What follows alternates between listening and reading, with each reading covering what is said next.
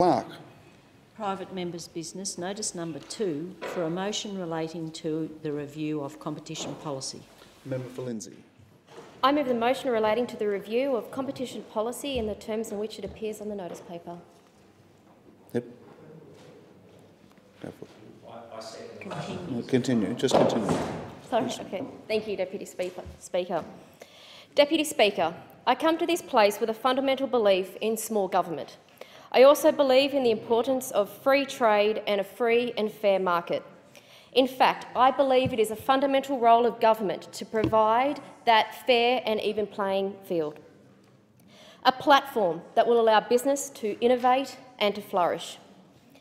It is for this reason I bring this matter to the House, and I commend the Minister for getting on with the job with a root and branch review of the competition policy.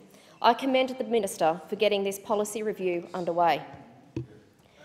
Deputy Speaker, the last comprehensive review of competition policy, the Hilmer Review, was in 1993, or more than 20 years ago. And Deputy Speaker, hasn't the economy and hasn't the world changed in that 20 years? This root and branch review delivers on a key election commitment. The review is sure to find ways to identify ways to build and promote the Australian economy, promote investment, growth and jobs creation. The competition review will examine not only the current laws, but in the broader competition framework to increase productivity and efficiency in markets, drive benefits to ease cost of living pressures and to raise the living standards for all Australians. We need competition laws for the 21st century. In the words of Professor Harper, who is leading the review, we need a modern, responsive competition policy fra framework that strengthens our economy today and positions us for the new opportunities and challenges we face in decades to come.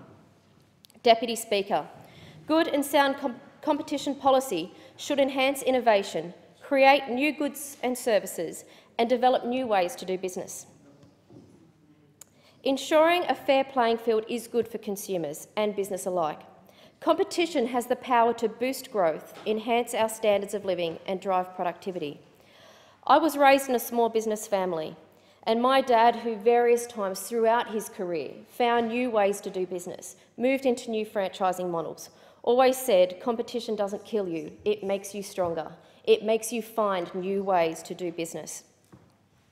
More than ever, we live in a changing environment and a changing economy.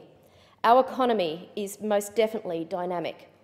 In the years since the last review, the FMCG market alone, within our major supermarkets, both Coles and Woolies, had a market share of about 40%. Today, their market share is in excess of 80%, and I would expect my good friend, the member for Hughes, will touch on these exact points. These two competitors are changing not only the face of our FMCG environment, but also hardware, fuel, insurance, liquor, pubs, which I'm sure the member for Reid will also discuss today, and changing the way business and consumer goods right across our economy are being purchased and acquired. Deputy Speaker, also since the last review, we've also seen the advent of the internet, with social media alone, changing the way all consumers communicate, how we do business, and how we acquire goods and services. It has also changed the retail experience for all Australians and shoppers right around the world. The World Internet Project's latest report has found that Australia's online shopping grew by 46% between 2011 and 2013, far outpacing the growth of bricks and mortar retailing. Last year, Australians spent over $14 billion online, on online retail, and 6.5% spending in bricks and mortar retail, according to the NAB Online Retail Index. Industry estimates indicate that the growth trend will continue to grow.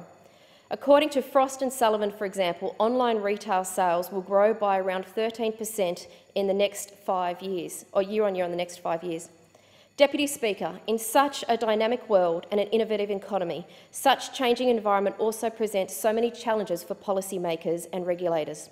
This is why I am so proud to be, be part of a government that's meeting these demands and that's stepping up to the plate to review our competition policy, to have a competition policy that will be, that will be right into the future.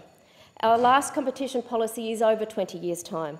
It is time we review our competition policy to continue to provide that fair and even playing fields for all Australians. I commend this motion to the House. I thank the motion. Is there a seconder for the motion? Second the motion and reserve my right to Thank you very much.